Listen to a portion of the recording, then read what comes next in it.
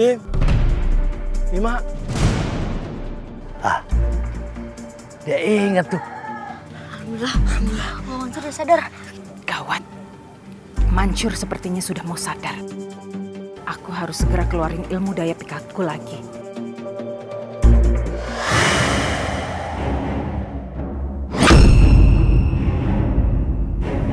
Gayang. Bah, eh, lu bisikin apa lagi tuh? Kita pergi yuk dari sini. Kayaknya mereka nggak suka sama kita. Lagian kita kan sibuk ya, Iya, mau iya. ngurusin pernikahan Iya, kita iya. ya, A ya. Iya, Yuk, ayo pergi. Kita jalan. Enggak level, enggak level.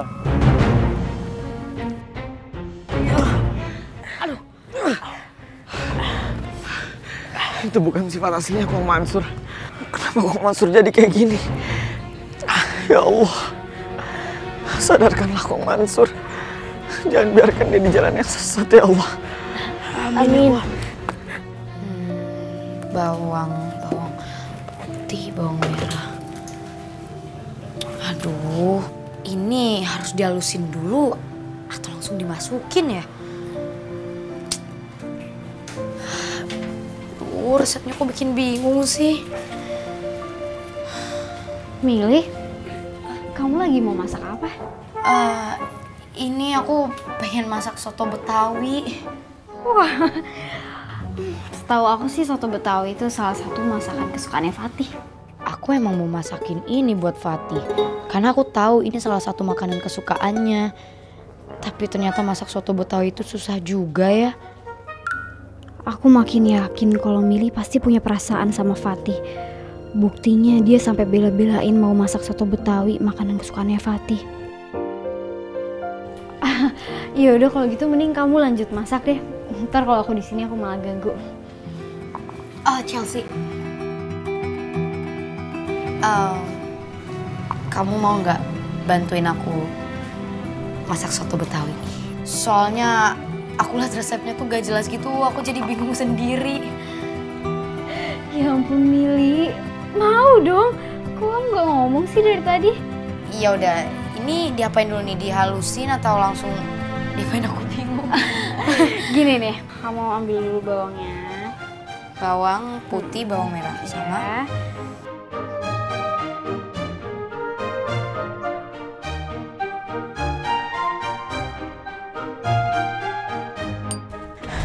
Assalamualaikum. Assalamualaikum, Cing Rika. Cing.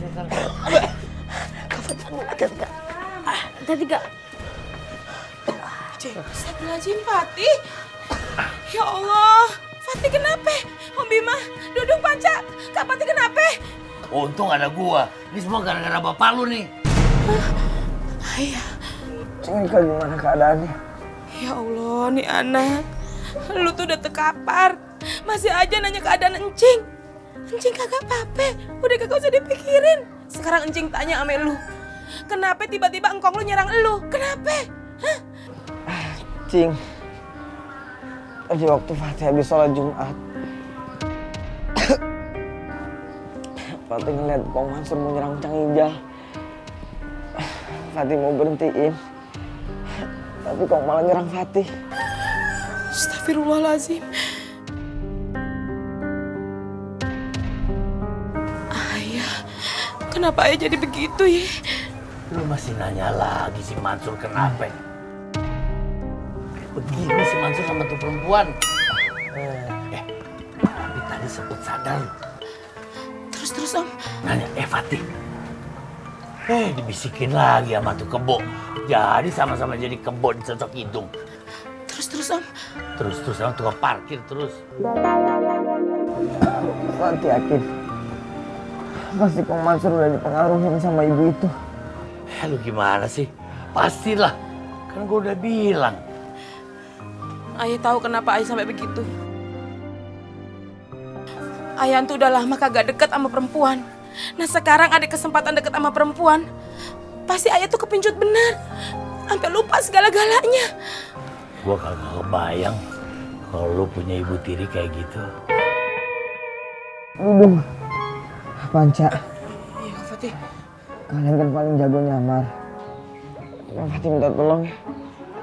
Kalian nyamar dan cari tahu apa yang sebenarnya terjadi sama Kong Mansur. Kalian bukan tolongin Kak Fatih. Tenang aja kak. Soal begitu mah, sering aja ke Dudung. Dudung kan paling jago kalau dijadiin umpan musuh. Cak, Astagfirullahaladzim kenapa selalu dudung terus sih Cak yang jadi tumbal? Udah, sekarang ada yang jadiin tumbal atau umpan. Sekarang Kak Fatih cuma minta kalian jadi mata-mata. Ya.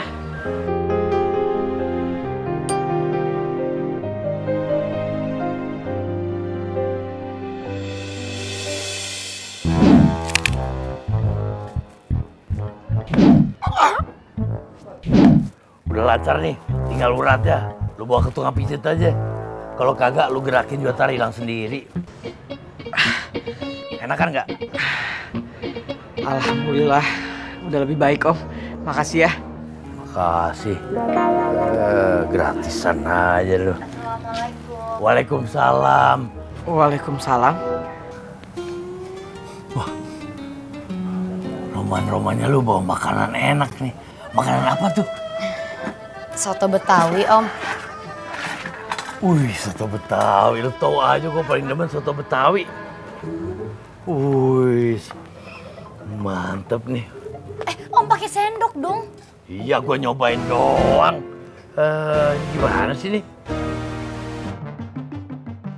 Kok- kok muka Om Bima gitu sih?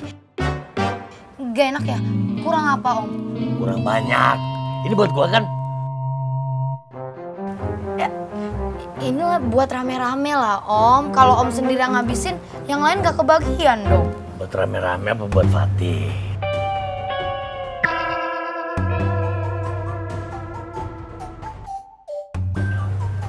I- iya, buat Fatih sama yang lainnya lah. Ah, buat gue sendiri aja kurang gimana? Em, Tih, kamu mau aku ambilin?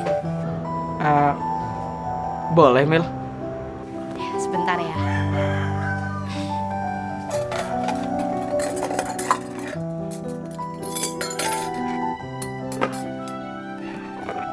Udah dong.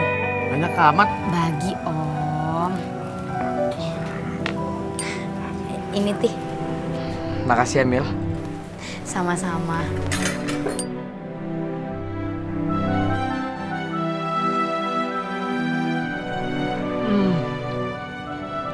Masya Allah, enak banget Mil.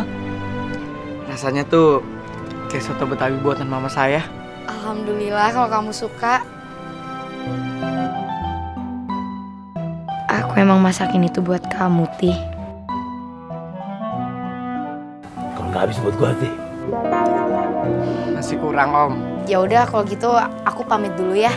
Ye, ye, ye. Assalamualaikum. Waalaikumsalam. Mantap ya?